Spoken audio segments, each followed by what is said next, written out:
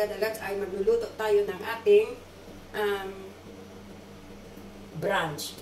Bakit ko tinawag na brunch? Kasi pag ako'y nagluto ng pagkain or ulam sa umaga, kasi tulog pa sila, diretso na yan. Ang, ang lulutuin ko hanggang lunch na.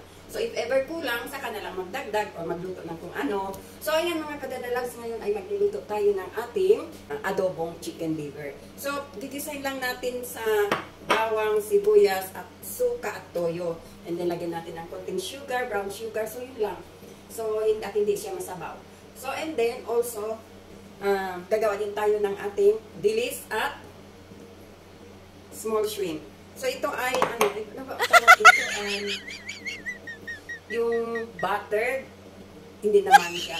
Or torta.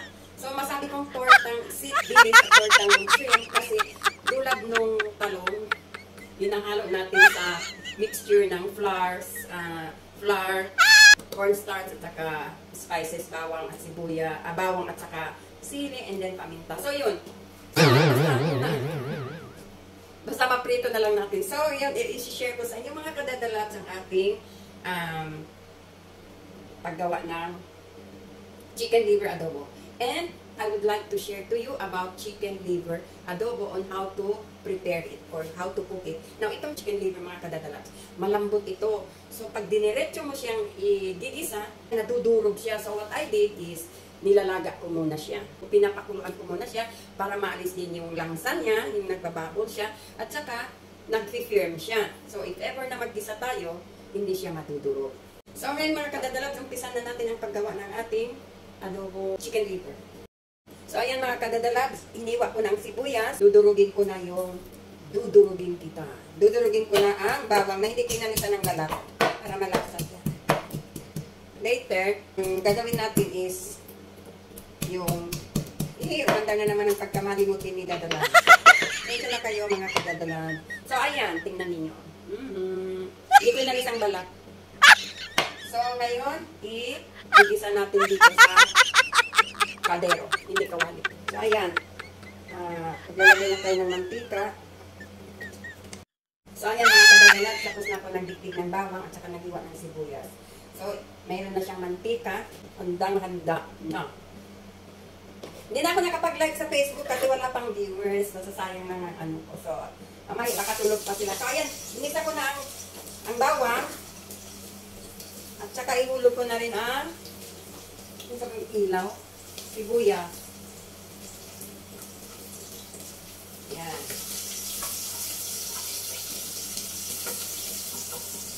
And then, ihulog na natin ang ating chicken liver.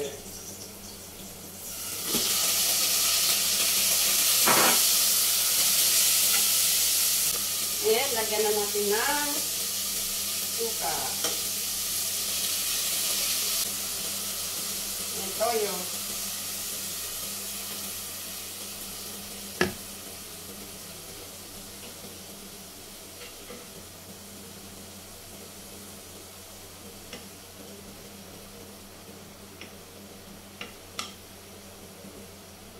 Yung makita mga kadadalan. Ayan siya mga kadadalan.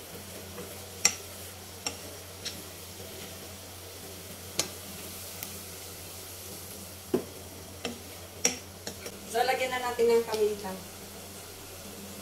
At ang ating magic.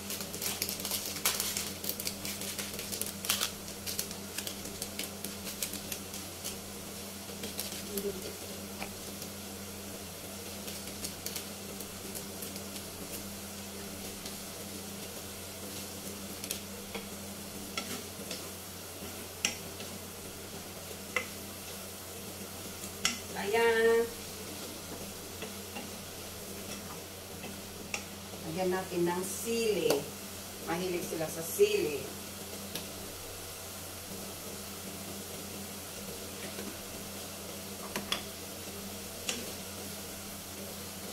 Sorry mga kadadalat, hindi ako kumakain ng liver. Hindi ako kumakain ng ano. Kahit, basta, ano, kahit meat or chicken, depende sa pagluto. Dagdagan ko mga kadadalags kasi kulang ng tubig. Kulang ng sabaw. Gusto nila may sabaw-sabaw. So, hindi ko lagyan ng tubig. Ano lang, suka at saka toyo. Konti lang. Kasi natuyo siya. So, pinalit ko na ang apoy para hindi siya matuyo agad. Para maglasa naman. So, ayan. Pinalit ko ang apoy para hindi matuyo.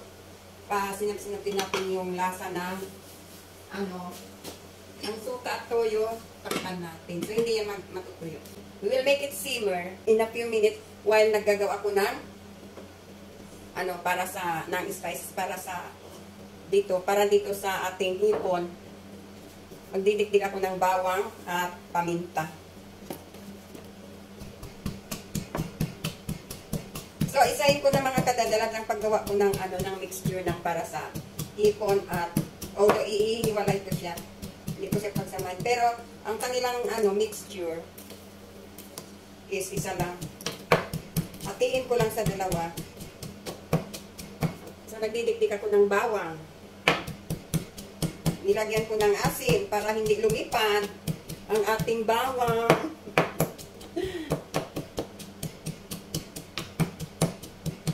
Po mga kadadalat.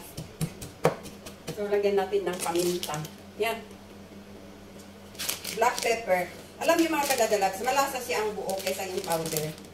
Malasa rin yung powder, pero pag ganito nagdidikdik ako, total, nagdidikdik din ako. So, tutulugin ko na yung paminta dito sa bawang para malasa. Ayan. So, lumalasa yung ano, yung liver, chicken liver sa suka. Kasi kailangan palutuin din natin ng suka at toyo.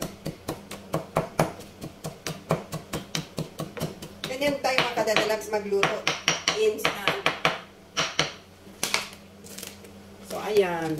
So, lagyan na natin ng kaminta. At, ang ating magic.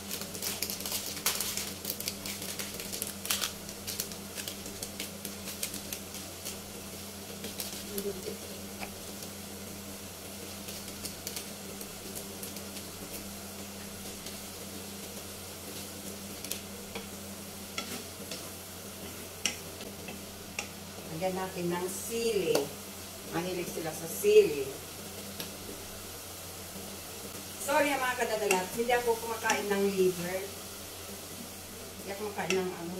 Kahit, basta, ano, kahit meat or chicken, depende sa pagluto. Dagdagan ko mga kadadalat kasi kulang ng tubig. Kulang ng sabaw. Gusto nila may sabaw-sabaw. So, hindi ko lagyan ng tubig. Ano lang, suka at saka toyo. Konti na. Kasi natuyo siya. So, pinalit ko na ang apoy para hindi siya matuyo agad. Para maglasa naman. So, ayan. Pinaliit ko ang apoy para hindi matuyo. Pa, sinap-sinapin natin yung lasa ng ano, ang suka at toyo, takpan natin. So, hindi yan matutuyo. We will make it simmer in a few minutes while naggagawa ko ng para dito sa ating hipon. Magdidikdik ako ng bawang at paminta. So, isahin ko na mga kadadalan ng paggawa ko ng, ano, ng mixture ng para sa hipon at although iihiwalay ko siya. Hindi ko siya pagsamahin. Pero, ang kanilang ano, mixture is isa lang. Hatiin ko lang sa dalawa. So, nagdidikdik ako ng bawang. Nilagyan ko ng asin para hindi lumipad ang ating bawang.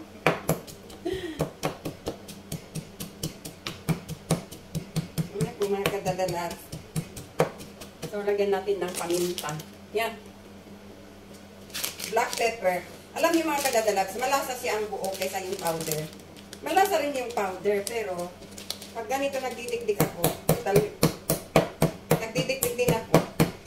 So, tutulugin ko na yung paminta dito sa bawang para malasa. Ayan. So, lumalasa yung ano, yung liver, chicken liver sa suka. Kasi kailangan palutuin din natin ng suka at toyo.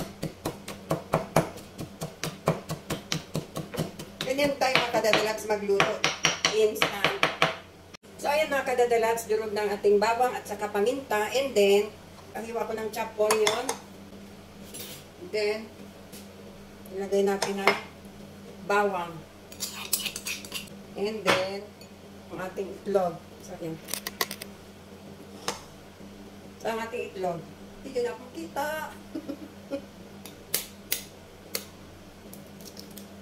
Ayun. And then, a little bit of salt.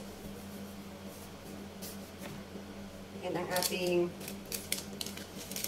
magic.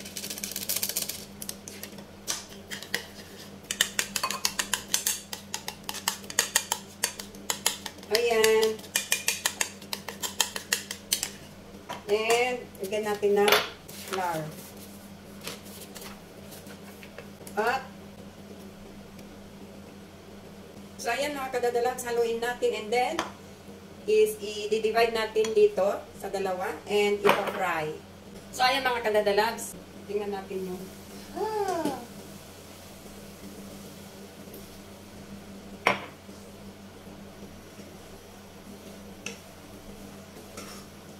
Alisin ko para makita ninyo. Mm. Mahirap magbuhat ng camera. So, ayan. So, takpan natin ulit. And then, ito ay hahaluin na natin. Yan. Para dito sa mixture. Lagyan natin ng konting tubig. Ayan.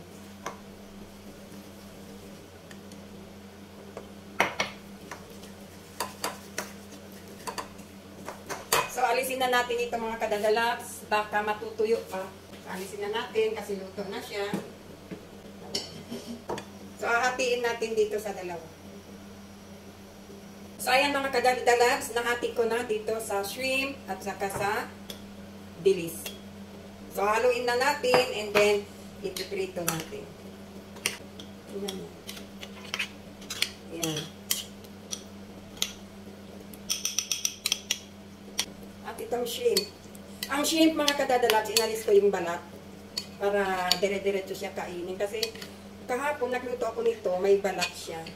Mahirap, maraming masasayang kasi pagkain mo, kailangan mo pang alisin yung, ano, yung balat eh. So ngayon, nilinis ko na pati yung, sa, yung itim sa likod niya. So ayan, ready na tayo for cooking. Ayan, ipa-fry na natin ang ating, unahin natin ang dilis. So, konti-konti lang para sa pananghalian na rin. Kasi, yan, bismillah. Kasi browns ang lulutuin natin, so hanggang tanghali na to. 1 tablespoon lang.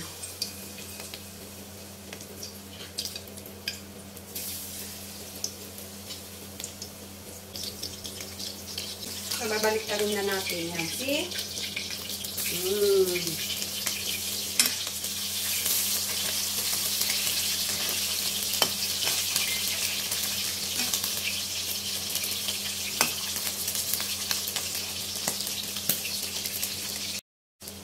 Mga kagadalat ng ating dilis. So, ano bang tawag dito? Just comment down below mga kadadalat kung anong correct ang tawag dito na dilis na hinaluan natin ng flour mixture.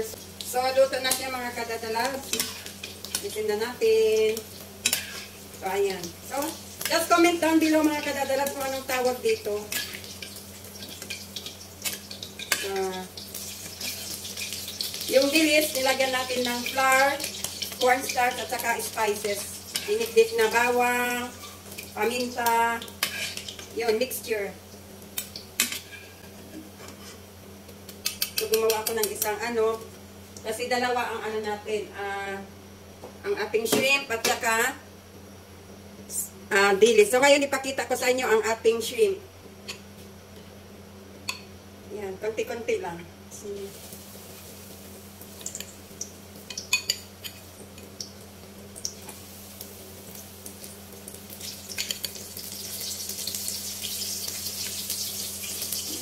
Ano kasi agad nag-brown, nag-brown agad kasi mainit na ang kawali.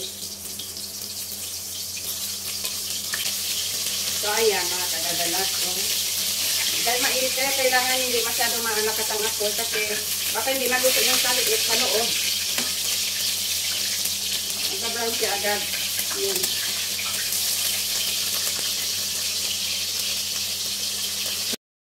So, ayan mga kadadalag, parang ano mo sa Balikin na natin ang ating ipon. So, hanggang dyan na lang mga kadadalags. Sana ay nagustuhan ninyo ang ating video, ang ating brunch na preparation. So, hanggang dito na lang. Maraming maraming salamat sa panonood. And please don't forget to subscribe, like, and share. So, hanggang dito na lang mga kadadalags. Magandang umaga, araw, tanghali, hapon, at happy gabi sa inyong lahat. Sa ang sulok ng mundo man po kayo naroon. Bye-bye! God bless everyone!